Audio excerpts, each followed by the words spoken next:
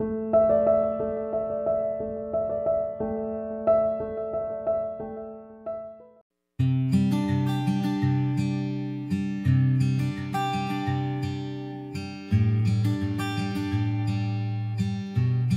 Hello friends welcome to Gomathi's kitchen இன்னைக்கு நம்ம பார்க்க போகிற ரெசிபி பார்த்தீங்க அப்படின்னா ரொம்பவுமே ஒரு ஆரோக்கியமான முருங்கைக்கீரையை வச்சு ஒரு குழம்பு எப்படி செய்யலாங்கிறது தான் பார்க்க போகிறோம் இந்த குழம்பு நல்ல ஒரு சுட சுட சாதத்துலையும் பிசைஞ்சு சாப்பிட்லாம். சப்பாத்தியோட வச்சு சாப்பிட்டோம் அப்படின்னா செம்ம டேஸ்ட்டாக இருக்கும்.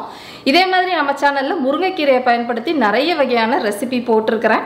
அந்த ரெசிபியோட லிங்க் எல்லாமே கீழே டிஸ்கிரிப்ஷன் பாக்ஸில் இருக்குது விருப்பப்பட்டால் செக் பண்ணி பார்த்துக்கோங்க. இப்போ வாங்க இந்த குழம்பு எப்படி செய்யலாங்கிறத பார்க்கலாம். கோமதிஸ் கிச்சனை சப்ஸ்கிரைப் பண்ணாதவங்க சப்ஸ்கிரைப் பட்டனை ப்ரெஸ் பண்ணிக்கோங்க. உடனுக்குடனே அப்டேட் வேணும் அப்படின்னா பக்கத்தில் இருக்க பெல் பட்டனில் ஆல்ங்கிற ஆப்ஷனை மறக்காமல் ப்ரெஸ் பண்ணி வச்சுக்கோங்க. இப்போ இந்த குழம்பு செய்கிறதுக்கு நம்ம ஒரு சில சாமான்கள் வறுக்க போகிறோம் அதுக்கு நல்ல சூடான பேனில் துவரம் பருப்பு நல்லா ரெண்டு டேபிள் ஸ்பூன் அளவுக்கு சேர்த்துக்கோங்க. இப்போ இதோடைய பார்த்தீங்க அப்படின்னா புழுங்கல் அரிசி. நல்லா ஒரு டேபிள் ஸ்பூன் அளவுக்கு எடுத்துக்கலாம். புழுங்கலரிசி இல்லை அப்படின்னா இதுக்கு பதிலாக நீங்கள் பச்சரிசி கூட சேர்த்துக்கலாம். நல்லாயிருக்கும். இப்போ இதை ஒரு மிதமான தீயில பருப்பு லைட்டாக பொன்னிறமாக செவந்து வரணும். அரிசி வந்து கொஞ்சம் பொரிஞ்சு வர மாதிரி வறுத்து விட்டுக்கலாம். எக்காரணத்துலேயும் ரொம்ப செவக்கவோ கருகிடவோ கூடாது. இப்போ இது பாதி வறுபட்டுட்டு இதில் வரமிளகா ஒரு ரெண்டே ரெண்டு போட்டு வறுத்து விட்டுக்கலாம். இப்போ பார்த்தீங்கன்னா அரிசியும் பொறிஞ்சிருச்சு பருப்பும் நல்லா பொன்னிறமாக வறுபட்டு வந்திருக்குது. இந்த அளவுக்கு வறுபட்டால் போதும். இந்த சமயத்தில் அடுப்பு ஆஃப் பண்ணிவிட்டு இதை ஒரு தட்டுக்கு மாற்றிக்கலாம் இப்போ இதிலே வந்து பார்த்தீங்கன்னா ஒரு கால் டீஸ்பூன் அளவுக்கு சீரகம் சேர்த்துக்க போகிறேன் சீரகத்தை வறுக்கக்கூடாது நம்ம பச்சையாக தான் அரைக்கணும். அதனால் இது நல்லா ஆறட்டும். ஆறுனதுக்கப்புறமா இதை அரைச்சிக்கலாம். இப்போ நம்ம குழம்பு செய்ய ஆரம்பிச்சிடுவோம். குழம்பு செய்கிறதுக்கு ஒரு சட்டியில் ஒரு ஒன்றரை டீஸ்பூன் அளவுக்கு எண்ணெய் சேர்த்துருக்குறேன். எண்ணெய் நல்லா காஞ்சதுக்கு அப்புறமா இதில் தாளிக்கிறதுக்குன்னு பார்த்தீங்கன்னா ஒரே ஒரு டீஸ்பூன் அளவுக்கு கடுகு சேர்த்துக்கோங்க. இப்போ கடுகு போட்டு நல்லா இந்த அளவுக்கு பொரிஞ்சதுக்கு அப்புறமா காரத்துக்கு ஏற்ற மாதிரி வரமிளகா. நான் வந்து ஒரு ஆறு மிளகா சேர்த்துருக்கிறேன் ரெண்டு அரைக்க போகிறேன் நீங்கள் காரம் எவ்வளோ வேணுமோ அதுக்கேற்ற மாதிரி போட்டு செவக்க விட்டுக்கோங்க. இது நல்லா செவந்துக்கிட்டு இருக்கிறப்ப இதில் கொஞ்சமாக கருவேப்பிலை இலைகளையும் போட்டு பொரிய விட்டலாம் அடுத்ததாக இதில் சேர்க்க போகிறதுன்னு பார்த்தீங்கன்னா பூண்டு. ஒரு பத்து பல்லு பூண்டு பொடியாக நறுக்கினது ஒரு கால் கப் அளவுக்கு சேர்த்துருக்குறேன். இந்த குழம்புக்கு பூண்டு அதிகமாக போடுறப்ப ரொம்ப நல்லாயிருக்கும் இதை லைட்டாக கொஞ்ச நேரம் இப்போ வறுத்து விட்டுக்கலாம். இப்போ நல்லா இந்த அளவுக்கு வதங்கினதுக்கு அப்புறமா இதில் வந்து சின்ன வெங்காயம் ஒரு அரை கப் அளவுக்கு சேர்த்துருக்குறேன். ஒரு பதினஞ்சு சின்ன வெங்காயம் சேர்த்துருக்குறேன். இந்த குழம்பை பொறுத்த வரைக்கும் சின்ன வெங்காயம் போட்டிங்கன்னா ரொம்ப நல்லா டேஸ்ட்டாக இருக்கும். இல்லாத பட்சத்தில் பெரிய வெங்காயம் சேர்த்துக்கோங்க. இப்போ இந்த வெங்காயம் பூண்டு ரெண்டுமே நல்லா வெந்து வதங்கி இந்த அளவுக்கு வந்திருக்கணும். ரொம்ப செவக்கணும்னு அவசியம் கிடையாது.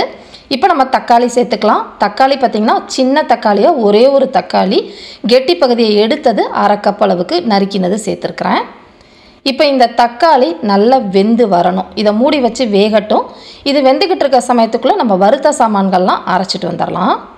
இப்போ இந்த பொடியை அரைக்கிறதுக்குன்னு பார்த்தீங்கன்னா ஒரு சின்ன மிக்சி ஜாரில் வறுத்த எல்லா சாமான்களையும் சேர்த்துக்கோங்க.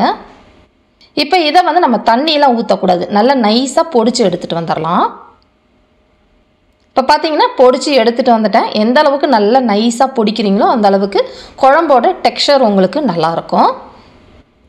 இப்போ இதை நம்ம அரைச்சிட்டு வரதுக்குள்ளேயே தக்காளியும் ஓரளவு வெந்துருச்சு. இப்போ இந்த சமயத்தில் நம்ம அரைச்சி வச்ச பொடியை சேர்க்கணும்.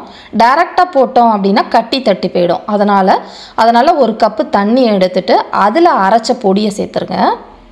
சேர்த்துட்டு இதை கட்டிகள் இல்லாமல் நல்லா கரைச்சி விட்டுக்கலாம். இதை நல்லா கரைச்சதுக்கப்புறமா இந்த தண்ணியை வந்து நீங்கள் தக்காளி அந்த விதக்கின சாமான்களோட சேர்த்துக்கோங்க. இப்போ அரிசி பருப்பு ரெண்டுமே போட்டிருக்கிறதுனால திக்காய் வரும் வேக வேக. அதனால் இப்போ உங்களுக்கு தேவையான அளவு குழம்புக்கு ஏற்ற மாதிரி தண்ணி சேர்த்துக்கலாம். நான் ஒரு ரெண்டு கப் அளவுக்கு தண்ணி சேர்த்துருக்குறேன். கூடவே ஒரு கால் டீஸ்பூன் மஞ்சள் பொடி போட்டு கலந்து விட்டுக்கலாம். இப்போ இந்த அரிசி பருப்பு ரெண்டுமே நல்லா வெந்து வரட்டும். நம்ம பொடியாக்கிருக்கிறதுனால உங்களுக்கு சட்டுன்னு வெந்து வந்துடும். இப்போ பார்த்தீங்கன்னா ஒரு அஞ்சு ஆறு நிமிஷம் தான் வேக வச்சுருந்தேன். அந்த அரிசி பருப்பு போட்டிருக்கிறதுக்கும் நல்லா கெட்டியாகி இந்த அளவுக்கு வந்துருச்சு. நல்லா கம கமன்னு வெந்தும் வந்துருச்சு.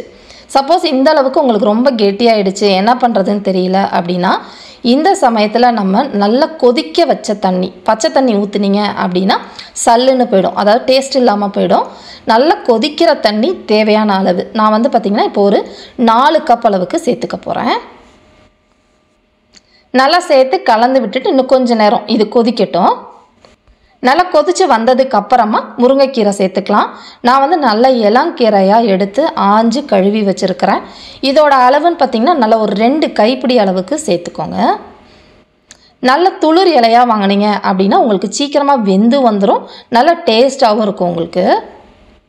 இப்போ இதெல்லாம் நல்லா கலந்துட்டு கீரையை நம்ம வேக வச்சுக்க போகிறோம் இதை வேக வைக்கிறதுன்னு பார்த்தீங்க அப்படின்னா நம்ம திறந்து வச்சு தான் வேக வைக்கணும். மூடி வச்சிங்க அப்படின்னா கீரை வந்து கருத்து போயிடும் குழம்பு பார்க்க நல்லா இருக்காது. இது வெந்துக்கிட்டு இருக்கப்பே இதில் தேவையான அளவு உப்பு இப்போ தான் சேர்த்துக்க போகிறோம் ஒரே ஒரு டீஸ்பூன் அளவுக்கு கல் உப்பு சேர்த்துருக்குறேன். டேபிள் சால்ட்டுனா கொஞ்சம் கம்மி பண்ணிக்கோங்க. இப்போ இந்த கீரை வேகிறதுன்னு பார்த்தீங்கன்னா ஒரு அஞ்சுலேருந்து பத்து நிமிஷத்துக்குள்ளே உங்களுக்கு நல்லா வெந்து வந்துடும் இது வேகட்டும். இப்போ கீரை பார்த்தீங்கன்னா ஒரு பத்து நிமிஷமாக நல்லா வேக வச்சுருந்தேன். கீரையும் நல்லா வெந்து குழம்பும் நல்லா கம கமன்னு கரெக்டான கன்சிஸ்டன்சியில் வந்திருக்கு. இந்த குழம்பை நம்ம உடனே இப்படியே ஆஃப் பண்ணிவிட்டு நம்ம சாப்பிட்டுக்கலாம். சப்போஸ் சின்ன பசங்களுக்கு கொடுக்க போகிறோம் இந்த மாதிரி இலையாக இருந்தால் சாப்பிட மாட்டாங்க அப்படிங்கிற பட்சத்தில் இதை ஒரு மத்து வச்சு ஒன்றும் பாதியமாக மசிச்சுக்கலாம். ரொம்ப கடையல் மாதிரி மசிச்சு விட்டுறக்கூடாது. இப்போ பார்த்தீங்கன்னா மசிச்சு விட்டுட்டேன். குழம்ப வந்து ஆஃப் பண்ணிட்டேன். குழம்போட கன்சிஸ்டன்சி உங்களுக்கு இந்த அளவுக்கு இருந்தால் சரியாக இருக்கும். ரொம்ப கெட்டியாகவும் இருக்கக்கூடாது ரொம்ப தண்ணியாகவும் இருக்கக்கூடாது. இந்த அளவுக்கு இருந்துச்சுன்னா நல்லா சுட சுட சாப்பாட்டில் போட்டு சாப்பிட்றதுக்கும் சப்பாத்தியோட வச்சு சாப்பிட்றதுக்கும் செம்ம டேஸ்ட்டாக இருக்கும்.